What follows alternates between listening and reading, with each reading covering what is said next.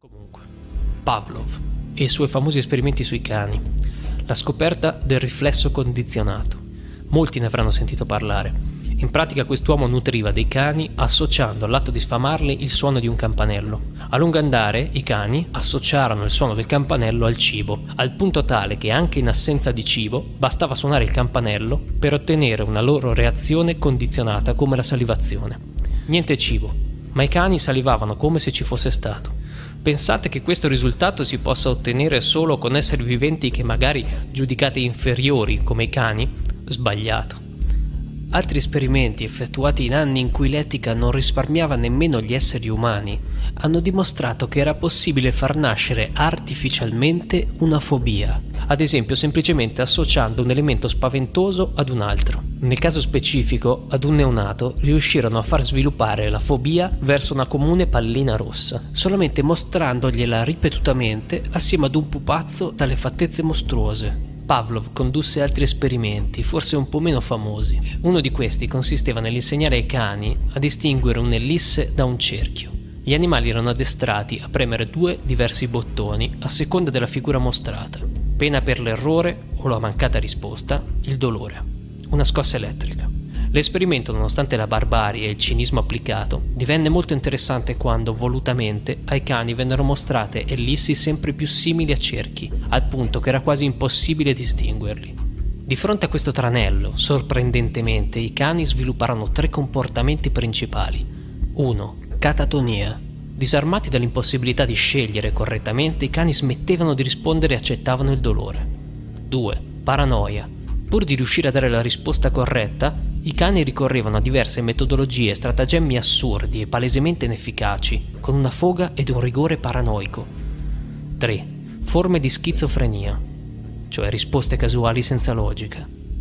Questi comportamenti artificialmente indotti accompagnavano l'animale anche successivamente ai test, mostrandone gli effetti nelle relazioni sociali con gli altri cani e con l'uomo. Diventavano apatici, si isolavano, oppure diventavano iperattivi, aggressivi. Proviamo per un secondo ad immaginare di applicare questo esperimento alla nostra società. Che cos'è che ha ridotto i cani in quello stato? La privazione di una scelta sicura, derivata non da una privazione di libertà, ma ottenuta con la manipolazione delle opzioni di scelta. L'impossibilità di distinguere che cosa poteva causare loro sofferenza e cosa invece poteva salvarli. Che cosa servirebbe quindi per produrre lo stesso risultato sulla popolazione? Cioè, senza apparentemente ledere alcuna libertà individuale, riuscire ad inibire la libertà di scelta attraverso l'impossibilità di determinare ciò che è giusto e ciò che è sbagliato, ciò che è bene e ciò che è male.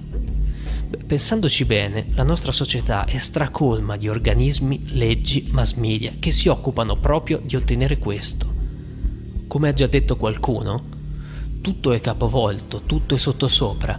I dottori distruggono la salute, gli avvocati distruggono la giustizia, le università distruggono la conoscenza, i governi distruggono la libertà e i media principali distruggono l'informazione, le religioni distruggono la spiritualità. Non si può riassumere in modo migliore la nostra società.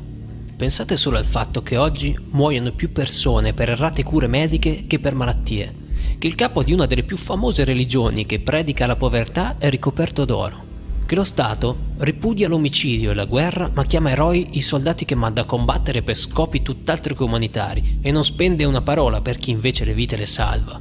Potrei andare avanti all'infinito. La nostra società è piena di ellissi che assomigliano a cerchi e noi facciamo la fine dei cani pavloviani, impauriti, spaventati oppure incazzati fino alla pazzia ma comunque sempre apparentemente liberissimi di scegliere.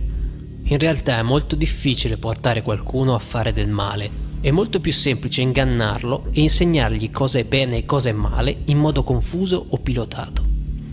E poi c'è la trappola della divisione, perché se un'arma contro la popolazione è quella di demolirne i principi e rovesciare gli opposti, un'altra è quella dell'omologazione, dell'etichetta, è riuscire a mettere l'una contro l'altra persone che la pensano esattamente alla stessa maniera. La massima espressione di questo trucchetto è la politica e l'invenzione del concetto destra e sinistra. Sono riusciti a creare queste due etichette così potenti e omologanti che sono diventate il cardine del nostro paese. E non solo. Ne sono stato testimone più di una volta. Tempo fa, alla fine della proiezione di un piccolo documentario di mia produzione, Fra i complimenti che ho ricevuto ce ne furono un paio che suonavano un po' così. Ah, complimenti, sei un po' di sinistra tu, visto che sei dalla parte del popolo, hai parlato di diritti, di fratellanza, unione, libertà. Un mese fa, invece, a seguito di un volantinaggio che tra le altre cose promuoveva la fine della svendita dello Stato in favore dei banchieri privati, ho suscitato il fastidio di un gruppo anarchico perché secondo loro il volantino era partorito da un'ideologia di destra. Non è stata certo la mia ideologia a cambiare così radicalmente. Ho solo toccato degli argomenti che l'establishment ha etichettato come di destra o di sinistra. È così che ci fottono. Danno un colore, una divisa, come la maglia di una squadra di calcio ha degli argomenti e fanno in modo che non accada mai che tutta la popolazione sia d'accordo su qualcosa. Invece dovremmo sforzarci tutti al fine di denudare ogni concetto dal costrutto sociale che lo opprime. Sapete, i due video che ho creato su Monti e che hanno riscosso un po' di successo, li ho visti condivisi su molti blog, alcuni di sinistra, anche di estrema sinistra, comunisti, anarchici. Altri blog invece erano di destra, anche di estrema destra. Provate a chiedervi perché. Perché in questo contesto persone con apparenti ideologie differenti, separate le une dalle altre, nude, davanti alle mie nude parole, sposano lo stesso pensiero, mentre nell'arena pubblica costruita dai mass media si sarebbero azzuffate senza arrivare a nulla. È così che ci fottono.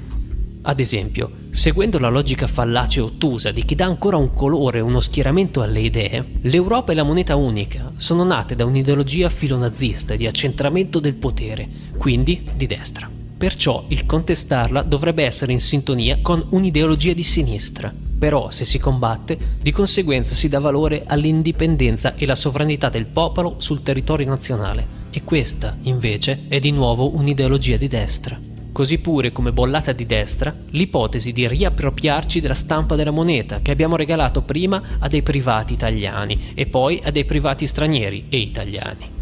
Con questo tipo di ragionamento si arriverebbe ad una situazione in cui la sinistra, anche quella radicale fino all'anarchia, si troverebbe a non fare niente per la situazione degradante e schiavista in cui siamo precipitati, pur avendone tutti gli interessi e gli argomenti per controbatterla. Viceversa, chi iniziasse una protesta in questo senso sarebbe bollato come un pericoloso nazionalista di estrema destra.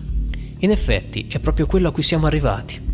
Mi domando, quando è che giungerete ad essere davvero indipendenti rispetto ai giochetti del sistema creati per dividervi e riuscirete finalmente a far cessare questa eterna adolescenza ideologica che non vi fa staccare dalla tetta del condizionamento mentale? La libertà e la lotta contro le ingiustizie non sono né di destra né di sinistra, così come non lo sono la lotta contro gli Stati Uniti fascisti d'Europa e contro lo schiavismo dei cittadini ad opera del sistema bancario finanziario. Fatevene una cazzo di ragione, questa lotta non ha colore e riguarda tutti.